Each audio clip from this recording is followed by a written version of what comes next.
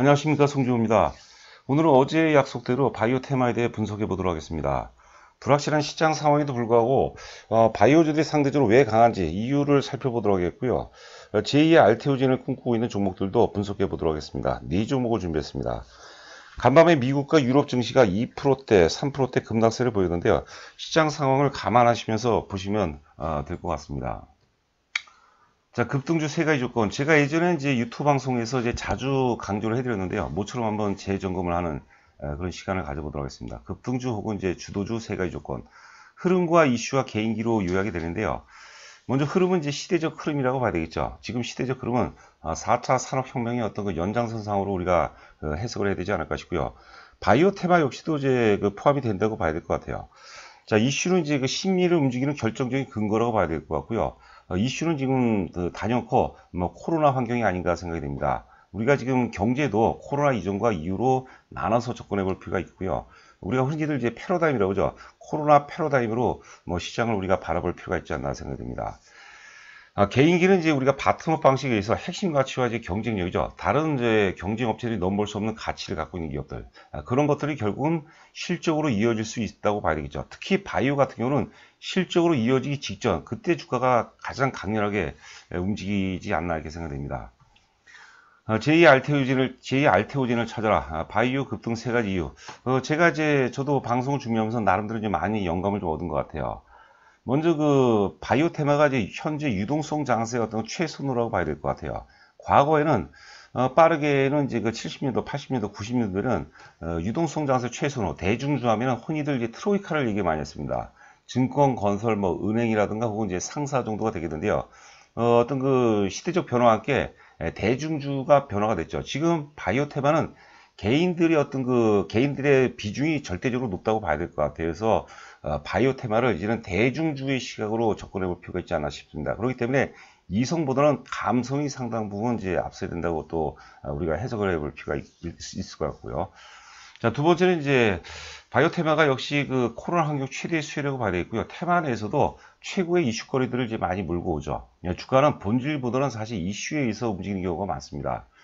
세 번째는 이제 동학개미 변절이라고 다소 좀 재밌는 표현을 써놨는데요. 제가 예전에 처음에 이제 동학 개미 운동이 나왔을 때 유튜브 방송에서 결과적으로는 삼성전자에서 탐욕이 지배하면서 바이오로 갈 것이다라고 얘기했는데 그거 역시도 결정적인 근거가 아닌가 생각됩니다. 자, 그래서 이제 바이오 같은 경우는 사실 많이 오른 종목보다는 바닥권에서 출발하는 종목이 좋죠. 어, 제2의 알테오진의 조건, 결정적인 어떤 핵심 가치, 다른 이제 경쟁 업체가 넘볼 수 없는 핵심 가치를 갖고 있어야 되겠고요. 새로운 시장이라는 것은 가급적이 존재하지 않았던 새로운 시장, 뭐 신약이 이제 대표적인, 대표적으로 될 수 있겠고, 어, 또 첨생법이라든가 8월부터 시행이 되죠. 첨생법이라든가 뭐 화평법 이런 것들도 기존에 과거에 존재하지 않았던 새로운 시장으로 우리가 해석을 해볼 필요가 있을 것 같아요. 꼭 바이오에만 국한되는 게 아니죠. 아울러서 이제 실적이 근거한다면 이제 금상첨화가 아닐까 생각됩니다. 시험 VIP 관련해서는 방송 맨 끝에 자세히 정리가 되어 있고요. 뭐 나름대로 저희가 의미 있는 종목을 새롭게 좀 재구성하고 있고 뭐 전략도 굉장히 또 신선한 전략을 또 많이 갖고 있습니다. 그냥 편안하게 혼자 하시는 것보다는 좀 체계적으로 할 수 있다. 뭐 주도주 논리 근거에서 매매하실 수 있다. 이렇게 생각하시면 될 것 같아요. 자, 최근에 가장 커다란 핫 이슈는 이제 SK 바이오팜이죠. 어, 저희 회사로도 뭐 회원분들 전화가 굉장히 많이 옵니다. 아, 지금은 23일하고 24일 이틀 동안에 이제 그 청약을 했는데 31조가 몰렸대요. 어마어마하죠. IPO에 든 그 새 역사를 썼다.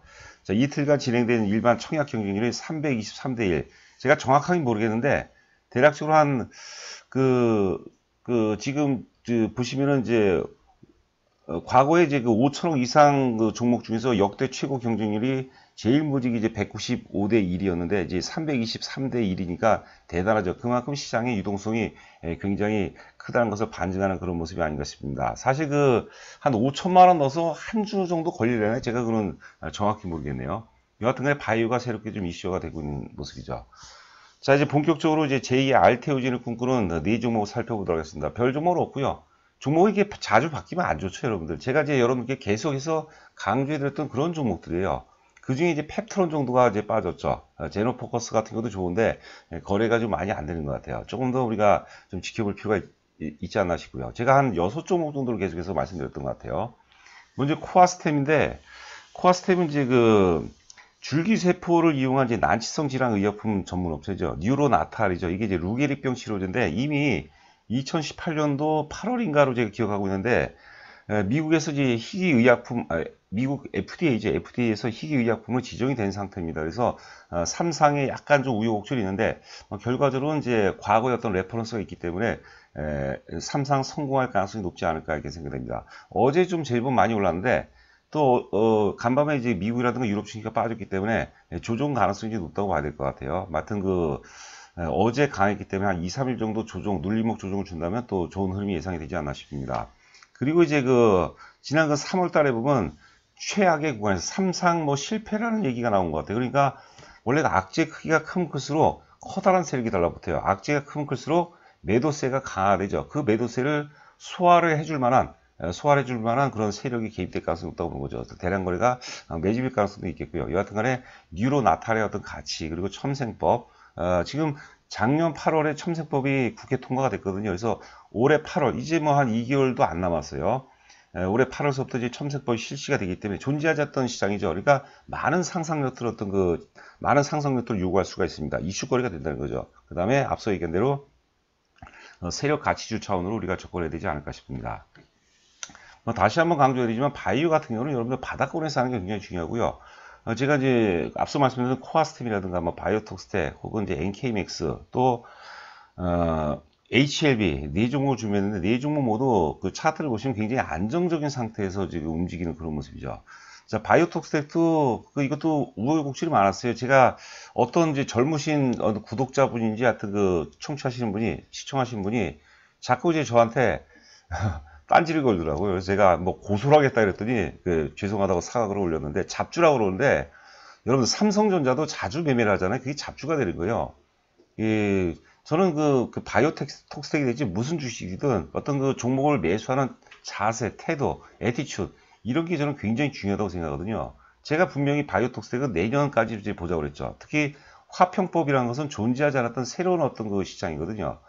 여하튼 간에 이제 어제 상가 들어갔는데 그 거래량 모습이 굉장히 좋아요. 어제 거래량이 별로 많이 안 터졌어요. 한 360만 주 터졌는데 과거 4월 달에 1800만 주가 터지고 그 다음에 또 6월 초에 6월 초에 이제 그 한 1200만 주가 터졌어요. 거의 뭐 합하면 3000만 주가 터졌는데 매물대를 돌파하는데 거래가 360만 주밖에 안 됐어요.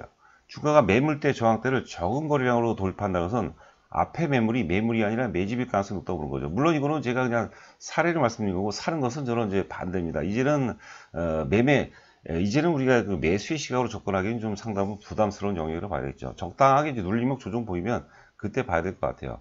그 화평법이 이제 화평법이라는 것은 그 잘 모르신 분들이 계실 텐데요. 그 가습기 살균제 생각하시면 될 것 같아요. 가습기 살균제로 인해서 어, 규제가 강화된 거죠. 1톤 이상 화학물질을 생산, 판매, 유통, 수입, 수출입하는 모든 기업은 다 이런 그 바이오톡스텍 같은 CR 업체, 독성 평가 업체에다가 이제 위탁을 해야 되는 거예요. 독성 검사를 이제 받아야 되는 거죠. 그리고 코로나 환경이 최적화가 돼 있죠. 지금 이제 자회사를 통해서 진단 키트를 이제 만드는 업체에다 출자를 일분 많은 많은 금액은 아닌 것 같아요. 그다음에 신약 파이프라인도 있는데 대표적인 게 이제 비알코올성 지방 간염이라고 그래요. NAS, NAS라고 그러는데 이거 기술 수출한다고 예전에 어, 대표이사께서도 한번 어, 공시에 나왔던 것 같아요. 그리고 셀키론이 지분을 11% 갖고 있는데 그게 아마 어제 크게 이슈가 되지 않나 싶습니다. 그리고 앞서 말씀드린 바와 같이 어, 세력같이 놀리는 거죠. 주가가 매물대 저항대를 적은 거래량으로 돌파한다는 것은 앞에 매물이 매물이 아니라 매집일 가능성이 있다고 보는 거고 어, 바이오 톡스텍 관련해서 예전에 바이오 자료를 찾아보면 제가 거의 이제 매번 말씀을 드렸어요. 그러니까 주가가 여러분들 한번 가만히 생각해 보세요. 주식이 이 조종받을 때는 장기간 지루하게 조종받는데 오를 때는 단방에 올라 버려요. 그러니까 물려있는 게 물려있다는 생각으로 사는 게 굉장히 중요합니다. 그리고 사자마자 상한가 들어간 것은 바람직한 게 아니에요. 오로지 시, 어, 오로지 수익률이라는 것은 시간의 흐름과 함께하는 수익만이 오로지 자기 수익률이 되는 거죠. 단방에 하루아침에 30%를 벌었다 보죠. 예? 그러면 그 30% 금방 또 깨먹기 마련이에요. 자꾸 이제 반복이 되다 보면. 근데 아, 우리가 30%를 버는데 최소한 뭐 2개월, 3개월 혹은 뭐 1년에 걸쳐서 내가 3, 30%를 어, 번다. 이게 진정한 자기 수익률인 거죠. 그냥 우리가 허투루 넘어갈 게 아니고요. 여러분께서 한번 심사숙고해서 한번 잘 생각해 보시기 바라요. 그 단기 매매는 여러분들 제가 장담컨대 필패로 집니다.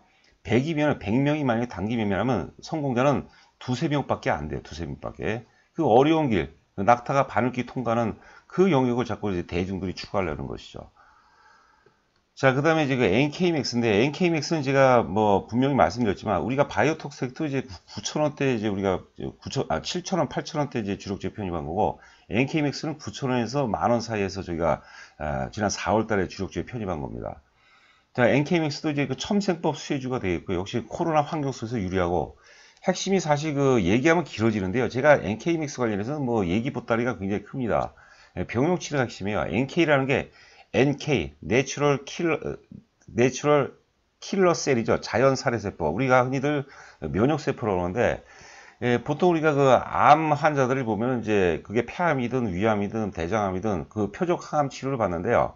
그 단독 치료보다 면역세포 치료를 병용해서 받았더니 효과가 좋다는 얘기죠. 그거로 인해서 이제 그 미국에서 어, 나삭 상장, 자회사가 이제 나삭 상장을 준비 중인데 펀딩에도 성공했어요. 제법 뭐 많이 몰렸답니다. 한 103억, 130억 정도 제 기억하고 있는데요. 나삭 상장이 안 될 수도 있죠. 근데 그될 가능성을 보고 우리가 바닥에서 사자는 거죠. 바이오톡스텍과 마찬가지로 NK믹스도 한번 주봉이라든가 최소 주봉이라든 월봉 보시면요. 여전히 바닥권이라고 봐야 될 것 같은데 NK믹스는 우여 곡절이 크고 특히 단기 매매하신 분은 절대 많은 종목이 아닙니다. 자, 마지막으로 이제 HLB를 준비했습니다. HLB도 사실 그 작년에는 뭐 바이오를 뭐 평정했던 그런 종목 중에 하나죠. 그 고점, 한 19만 원 고점 이후에 충분하게 이제 가격 조정과 기간 조정을 받았어요. 어, 전혀 거래, 전혀 과열 상황이 아니죠. 어, 지금 그 HLB 같은 경우는 리보세라믹 하반기 N, 삼상 NDA 신청건이 있고요. 특히 이제 그 캄렐리주맙하고 지금 항서제약에서 캄렐리주맙하고 임상을 병용을 하고 있어요. 그런데 그 항서제약이 총지 임상을 53개를 이제 그 53개를 준비하고 있는데 그 중에서 어, HLB의 리보세라닙과 병용 부분이 22건이 있어요. 그러니까 그, 그것 때문에 또 HLB의 또 리보세라닙 가치가 크게 또 상승할 가능성이 있다고 이제 보는 거죠. 그리고 이제 HLB가 에, 공격적인 또 M&A를 하고 있습니다. 미국의 이미노 테라퓨틱스라고 해서 이거는 이제 우리가 교모세포종이라 교모세포종이 이제 특화가 되어 있는 어, 제품이고 그다음에 스웨덴의 어필리아도 인수했는데 과거 우리가 그 제가 최근 보고서 보니까는요.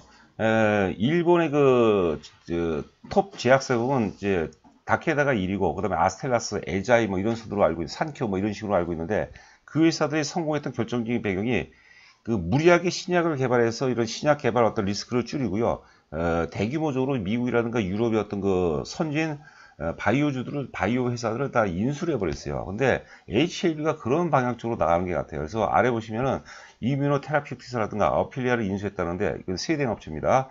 신약 리스크를 회피할 가능성이 있다고 보는 거죠. 리스크가 상당히 작다고 보는 거죠. 근데 지금 시장에서 이제 그 셀트리온이라든가 셀트리온 헬스케어 혹은 이제 삼성 바이오로직스가 아, 계속해서 이제 시장의 이슈를 몰고 다니니까 상대적으로 소외가 되고 있는데 그 삼성 바이오로직스 혹은 이제 셀트리온, 셀트리온 헬스케어 이런 것들이 이제 그 조정 가능성이 있으면은 그 매기가 HLB 쪽으로 이전될 가능성이 높지 않을까 싶습니다. 지금 뭐 10만 원대 초반 정도 되는데요. 뭐 10만 원 정도 전후에서 사게 되면은 좀 기다리면은 크게 무리 없이 뭐 좋은 결과로 이어질 수 있지 않을까 생각됩니다.